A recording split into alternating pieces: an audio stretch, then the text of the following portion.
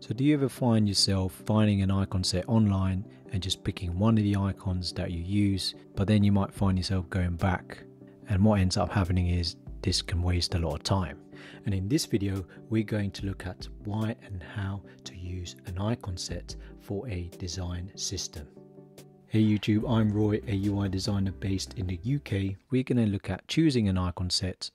We are going to think about social icons. We're going to extend the icons to a white and black version. If you stick to the end of the video, we're going to look at how to customize an icon set and how to create an icon. Now, this is not going to be the perfect solution, but this is how I would do it.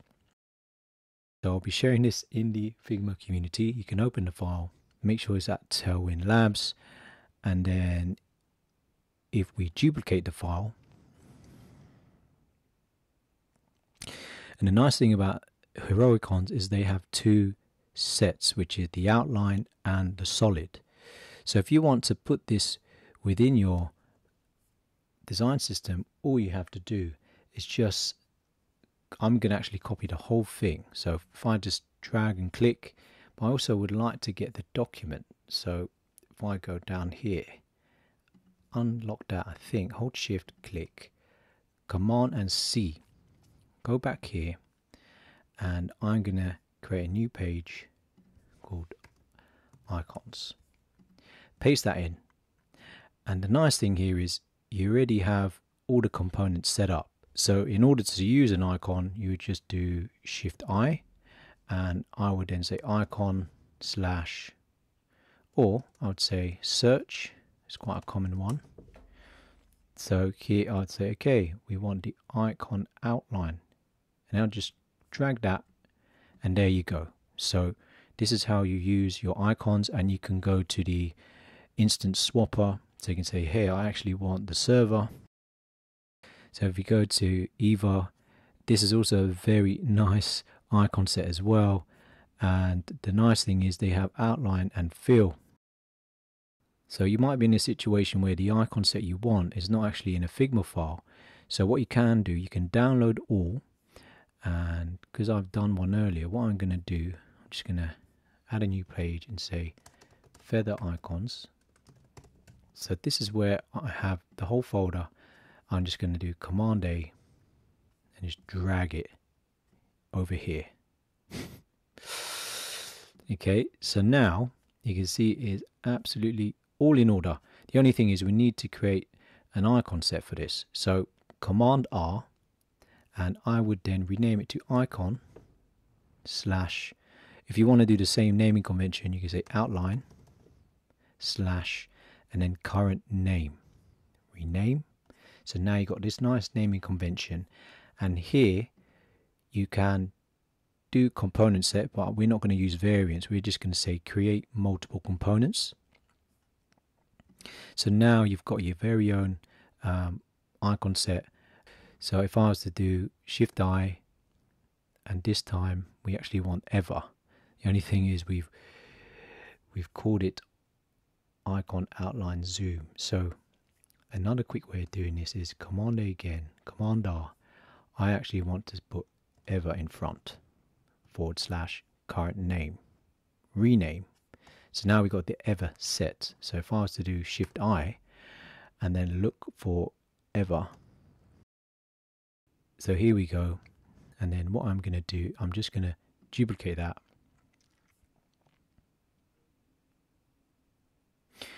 And what I'm going to do I'm actually just going to copy. So command well that is the uh, Okay, these are the sources, so we got them all from the place. So Command C, and then we go to your icons, make a new page. You can say social, paste, and then what we're going to do is if you hit enter to go into all these uh, layers, they've already been made into uh, an, uh, components, which is pretty cool. But what we might want to do is change the naming convention. So, for example, I would say, so these are original, but the way I would like it is if I was to click on that one, that one, I'm going to do Command R. I'm going to say the hyphen original I would like to change that to color. Rename okay? And then the negative I'd like to rename that to command R so that negative I'd rename that to let's say light. Rename. But now I actually want to create a dark version. So if you're finding value in this video please hit the like button. Find that layer. I'm going to copy paste drag it over here then here Facebook all the way to VK command C go here paste. I didn't paste it in there so I'm going to drag it down. And what I'm going to do I'm going to break out of these components because they're instances. So I'm going to do command alt B I'm going to do command R and I want to rename the light to dark rename and then I'm actually to choose the colors. So I'm to say we want that to be dark. And it's not appearing because it is beneath the um, background white but we'll sort that in a minute. And let's see if I can collapse all the layers. This is some nice shortcut. So uh, option L. Nice. And then I'm going to convert them to multiple components. Sweet.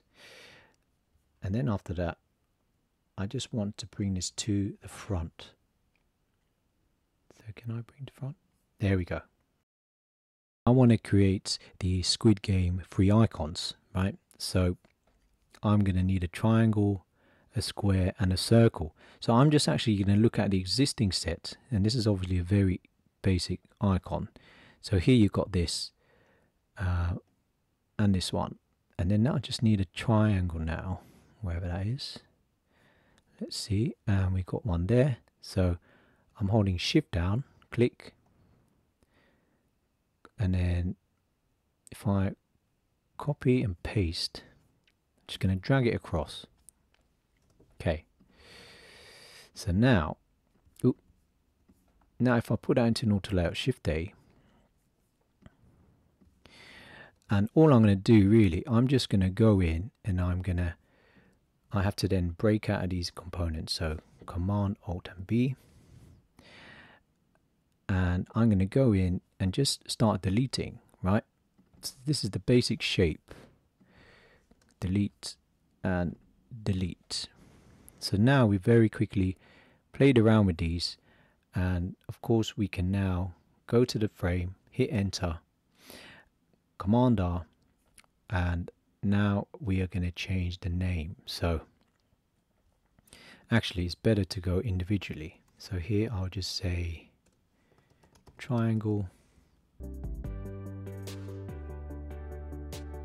We actually need to go to the frame and hit enter. Command Alt K. No. I'm doing something wrong. Very wrong. Hit enter.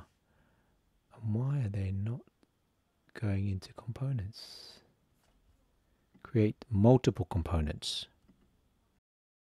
there'll always be an icon that you'll need to create by you know from scratch I'll duplicate this and, and the nice thing about this is they actually do all the different versions 24 48 40 and 60 so design your icon here and you've got all the lines which I think is pretty cool.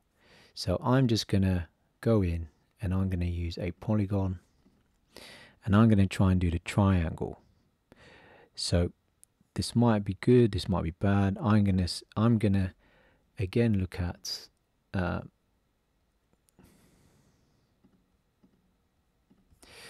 so again I'm gonna look at here and I can see it's got ooh it's not totally so 20 and 18 okay so 20 width.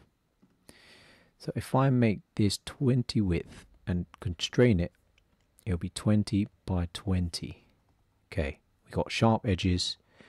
Get rid of the fill. Stroke is going to be center and it's one pixel so is it one pixel? We'll go back to we'll go back to here. We'll see that feather icon's using two pixels so we can go back and we then change that to 2 so now if I were to command X go in here command V and if I can get it within within these lines you can see it's quite it's pretty big so I need to reduce this so let's say 18 so now it's starting to go within within the bounding box. So I'm going to just say around there. So if I zoom out, the really neat thing is is done it for all all of the other sizes. We're going to put this all into one design system and so far we've done things like text styles, color styles, spacing and now we've got an icon set and we're actually building a design system because the plan is to start designing uh, landing pages really quickly using a design system and then planning to then build it out with HTML CSS. So I hope you enjoyed this video. Please leave a like, leave a comment, subscribe, hit the bell, and I'll see you in the next video.